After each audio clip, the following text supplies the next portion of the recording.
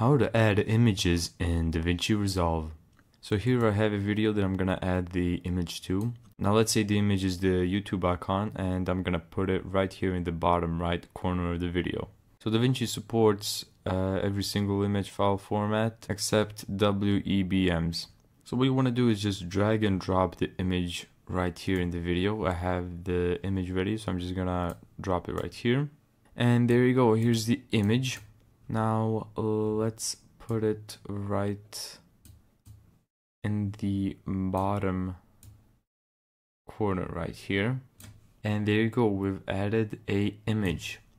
Now let's say you want this image to appear gradually and not just pop up in the video like that. From where do you want this image to appear? I want it to appear from the right side.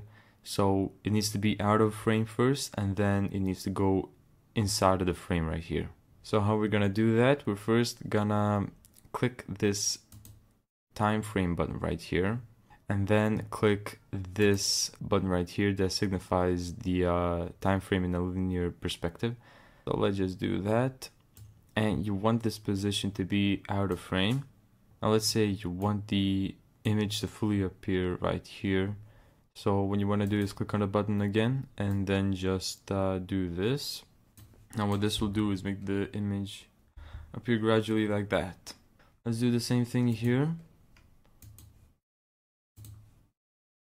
Um, I just do that. And there you go.